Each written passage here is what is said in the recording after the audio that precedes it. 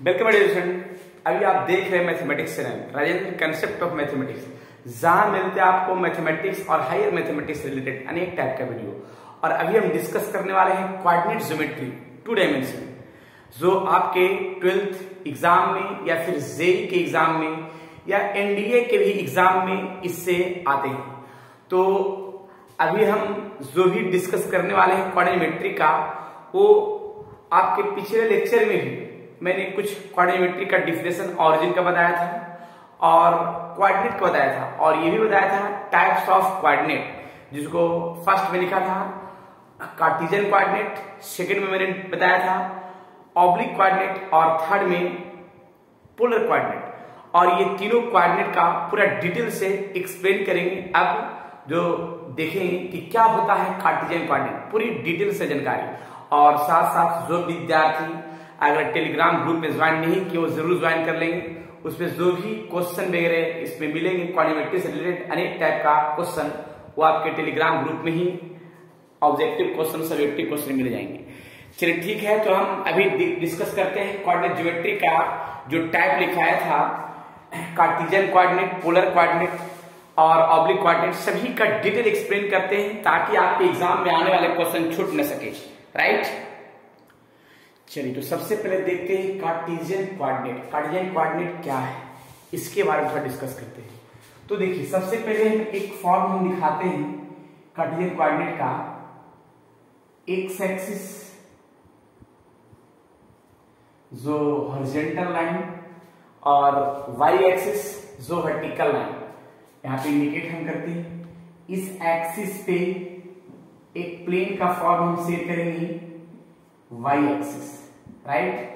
X axis और Y axis और इसमें एक हम टर्म सेट करेंगे कि एक्स एक्सिस को बोलते हैं हॉरिजॉन्टल लाइन और वाई एक्स को बोलते हैं वर्टिकल लाइन और इस पे कोई पॉइंट नहीं यहाँ पे एक मैंने पॉइंट लिया पी जो है एक्स कॉमा वाई और पी पॉइंट को परपेंडिकुलर एक्स एक्स पर किया गया पी एल राइट जो मेरा कुछ डिस्टेंस है ओ टू एल या पी से हम पीएम भी लिख सकते हैं, ठीक है? तो हम यहाँ पे पी से पीएम डिस्टेंस और कुछ डिस्टेंस यहाँ से यहाँ तक हो सकता है, जिसका मैंने एक्स मान लिया। और यहाँ से यहाँ तक डिस्टेंस को क्या टर्म सेट कर सकते हैं? वाई कर सकते हैं, ठीक है?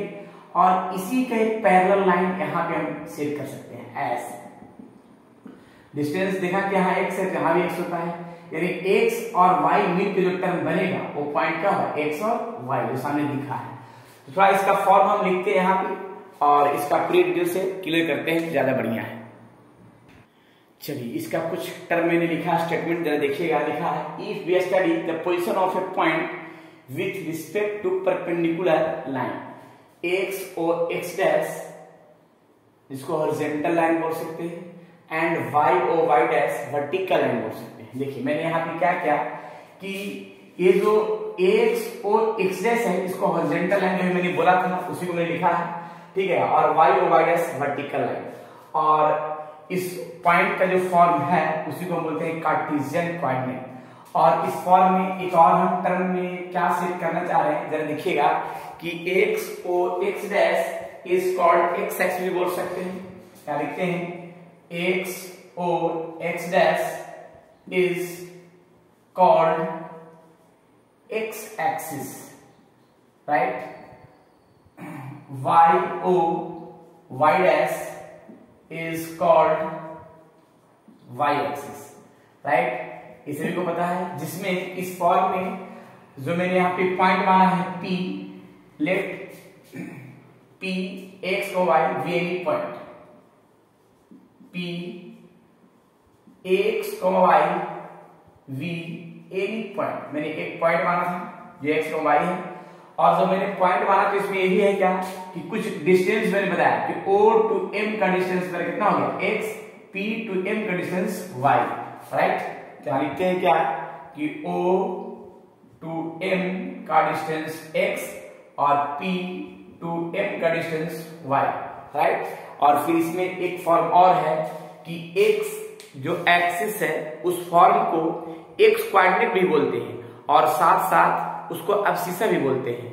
और वाई एक्सिस जो है, उसको हम बाई क्वाड्रेट भी बोल सकते हैं और उस फॉर्म को हम ऑर्डिनेट भी बोल सकते हैं राइट तो थोड़ा हम एक पॉइंट लिखते हैं एक्स एक्सिस का जो फॉर्म है, ये फॉर्म पर बोल सकते हैं अब शीशा या एक्स क्वाड्रेट और वाई का जो फॉर्म है, इसको वाई क्वाड्रेट बोल सकते हैं या तो ऑर्डिनेट भी बोल सकते हैं। तो हम लिखते हैं एक लाइन जल्द देखिएगा देखिए, मैंने यहाँ पे क्या बताया हेयर में O N equals to X is called X coordinate O N equals to X is called X coordinate या फिर आप सीसा भी बोल सकते हैं। एक्स क्वाड्रेट का जो फॉर्म है, उसको हम बोल सकते हैं अब सीसा। ठीक है? और पीएम पीएम का जो फॉर्म दिख रहा है, जो वाई है PM equal to Y is called Y coordinate इसको बोल सकते हैं ऑर्डिनेट ऑर्डिनेट राइट ऑर्डिनेट ये हम इसमें बताना ये चाह रहे हैं कि जो एक एक्सिस का फॉर्म है सीसा इसको हम बोलते हैं हिंदी में भुज और जो वाई एक्सिस का जो फॉर्म है ऑर्डिनेट इसको बोलते हैं कोटी, यानी भुज और कोटी। तो अब सीसा याद रखिए और ऑर्डिनेट याद रखिए राइट एक एक्सिस का फॉर्म एक पॉइंट हम एक एग्जांपल से हम चलते हुए देखिए। एक एग्जांपल को हम देते हैं तो ज़्यादा बढ़िया मान पी पॉइंट है टू कॉमा थ्री तो यहाँ पे अगर पूछा जाए कि टू कॉमा जो थ्री है ये मेरा x का फॉर्म है और ये क्या है? y का फॉर्म है यानी लिख सकते हैं, x इक्वल टू मेरा टू हो जाएगा, जिसको आप शीशा बोल सकते हैं, और y इक्वल टू क्या हो जाएगा? थ्री जो बोल सकते हैं ऑर्डिनेट बोल सकते हैं। तो ये मेरा पॉइंट है, और इस पॉइंट को हम टू और थ्री के रूप में इंडिकेट किया है, जिसको हम कार्टिजन फॉर्म का रूप हम दे सकते हैं। और ये फॉर्म जो मेरे यहाँ पे डॉट डॉट क्या है, यहाँ पे ये फॉर्म इस फॉर्म को मैंने पैरेलल टू किसका?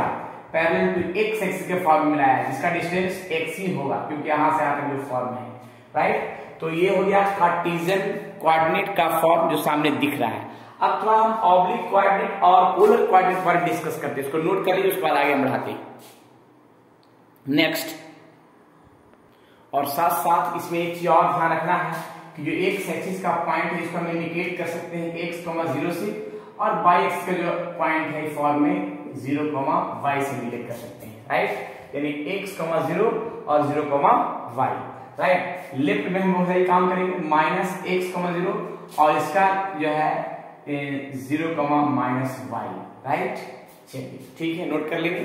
आगे बढ़ाते हैं पोलर फॉर्म का कंडीशन चलिए तो सेकेंड क्वेश्चन है polar coordinate what is polar coordinate polar coordinate क्या है? इसके बारे में थोड़ा डिस्कस कर लेते हैं। देखिए फ़र्स्ट ऑफ़ ऑल एक initial line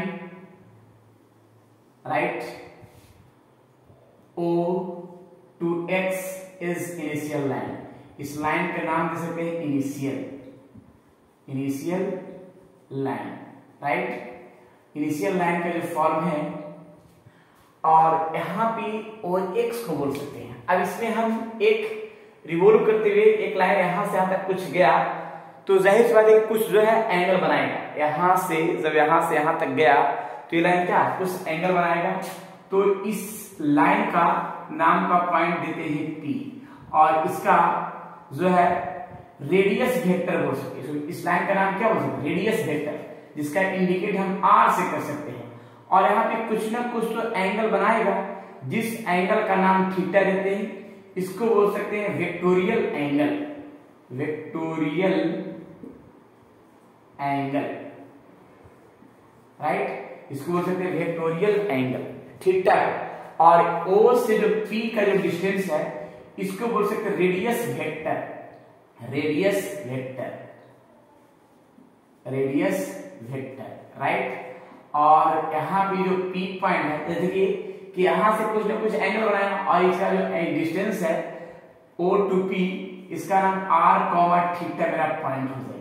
ये जो पॉइंट हुआ आर कॉमा थीटा का फॉर्म हो गया।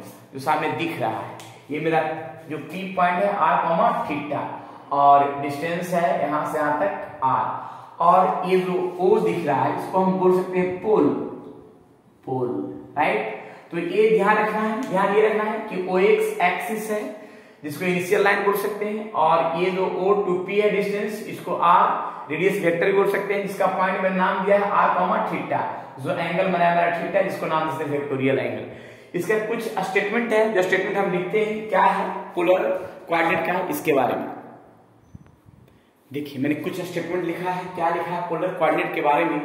If we study the position of a fix position of a point with respect to fix point and fix straight line the coordinate is called polar coordinate यानी fix straight line जो दिख रहा है O is fix line और fix point जो दिख रहा है राइट और फिक्स पॉइंट का जो टर्म है, O, और ये जो टर्म है, वो क्या कहलाएगा पोलर कोऑर्डिनेट का फॉर्म होगा राइट तो हम इसमें एक काम करते हैं, इस लाइन को लिखते हैं क्या?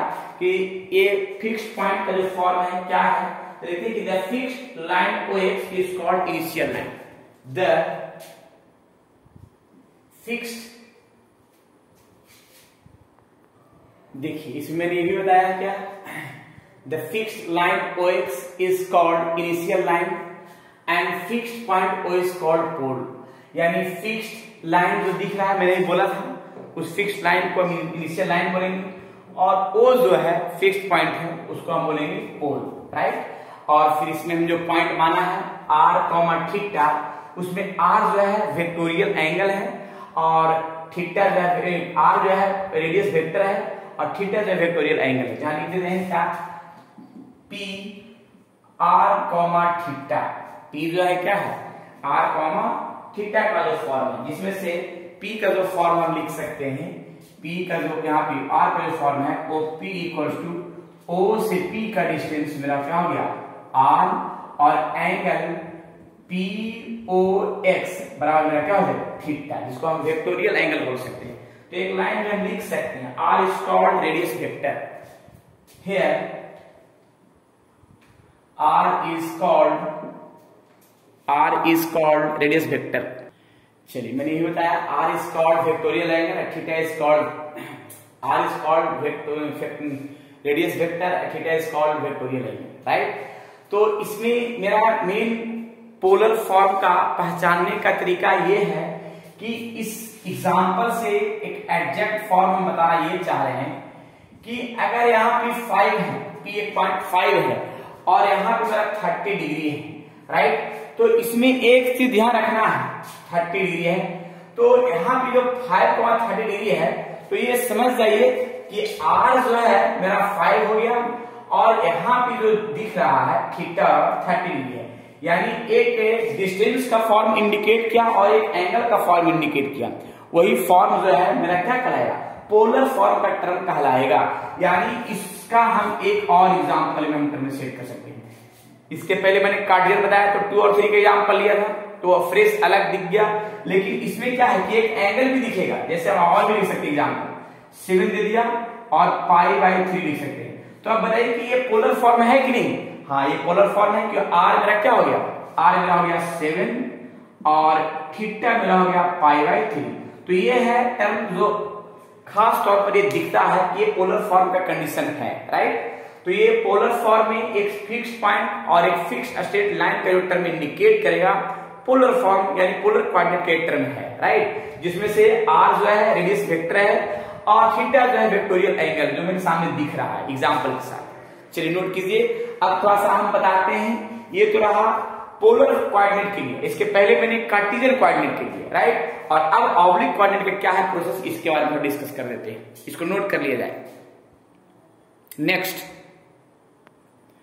चलिए ऑब्लिक कोऑर्डिनेट का जो फॉर्म है, क्या है ऑब्लिक कोऑर्डिनेट इसके बारे में डिस्कस कर लेते हैं ऑब्लिक कोऑर्डिनेट का फॉर्म फ़र्स्ट ऑफ़ ऑल एक initial line X axis right और इनिशियल लाइन का जो फॉर्म है, जो सामने दिखा अब इस फॉर्म से एक जो है वाई एक्सिस का फॉर्म इस टाइप से आएगा राइट जिसको हम वाई एक्सिस का टर्म इंडिकेट कर सकते हैं जो यहाँ पे ओ का फॉर्म है।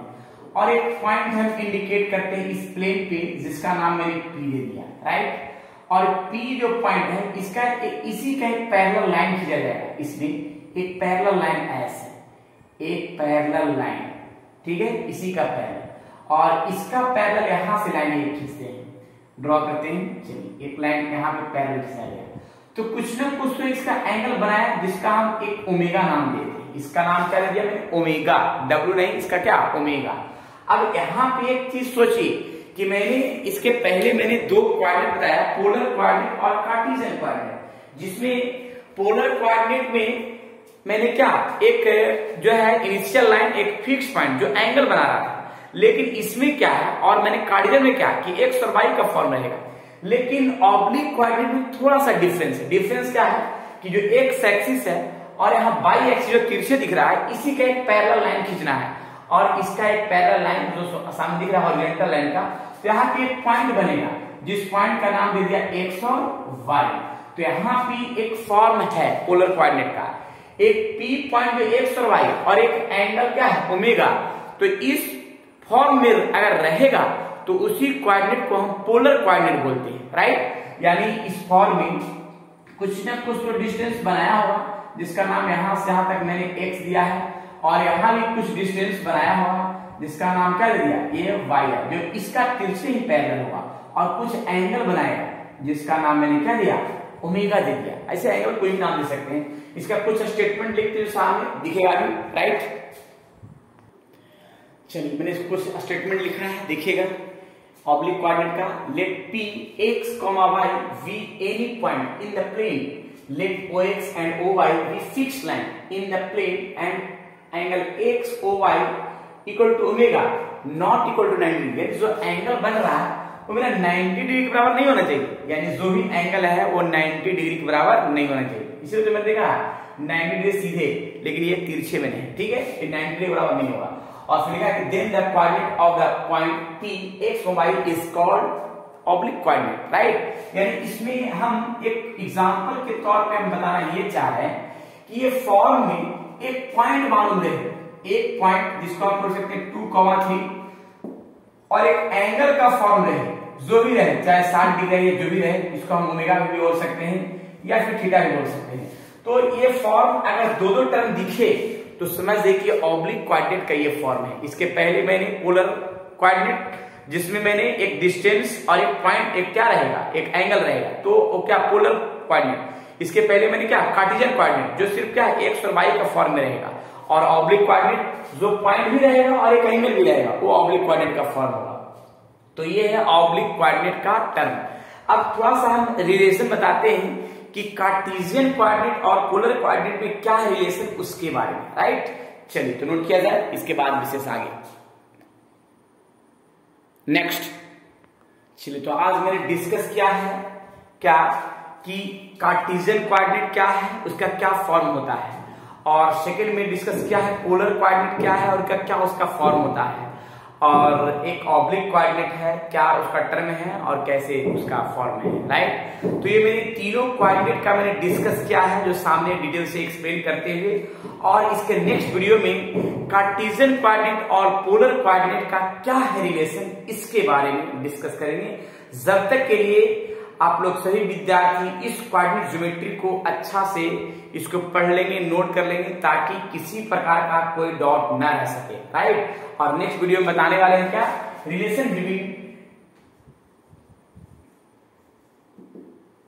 relation between Cartesian Cartesian and polar quadratic polar ये दोनों में ही रिलेशन बताया जाएगा। इसके बारे में नेक्स्ट लेक्चर में। जब तक के लिए आप लोग खुश रहिए, स्वस्थ रहिए और मस्त रहिए। पढ़ते रहिए क्वाड्रेटिक ज्योमेट्री का बेहतरीन कॉन्सेप्ट और बेहतरीन थ्योरी के साथ। और जो विद्यार्थी टेलीग्राम ग्रुप में ज्वाइन नहीं किए, ज़रूर ज्वाइन कीजिए। उसमें बहुत सारे क्वेश्चन भी मिलेंगे।